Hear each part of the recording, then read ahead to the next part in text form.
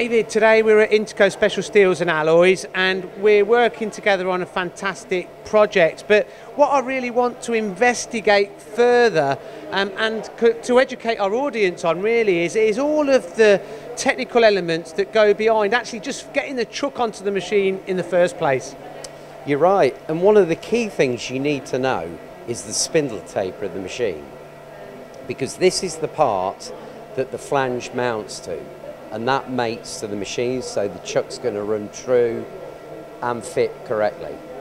And talk us through the spindle nose data sheet with the forward position, the backward position of the draw tube, the thread.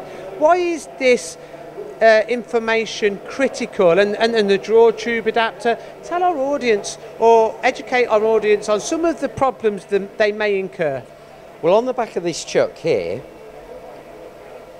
we've got a thread now that thread is obviously a standard thread that's, that's made in manufacture.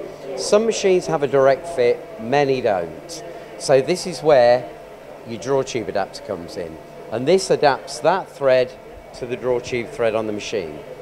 Now the first thing we need, the second thing rather we need to know is the draw tube diameter, the thread size and pitch, and critically the forward and reverse position of the draw tube because that then gives us the stroke.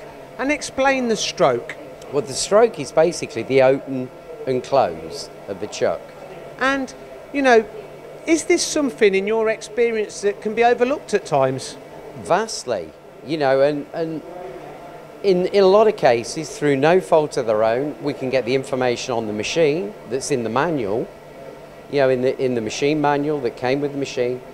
We come in, we take the chuck off, it's totally different to what the manual says. And, you know, you're not just supplying a collet chuck, you're supplying the complete solution. So, do you actually go out and measure the spindle noses for customers and do all of the technical um, information gathering so you can make the right parts so they fit um, as well as supply the chuck? We do, particularly on older machines because, you know, the reference data is, you know, hard to get hold of.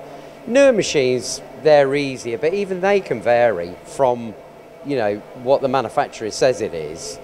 So, just to finalise really, if someone's looking to change their three jaw chuck to a Hainbuch collet chuck or any of your other products, you would be a good person to contact um, in regards to getting all of the spindle nose data for them. That's right, yeah. Cheers, Dave.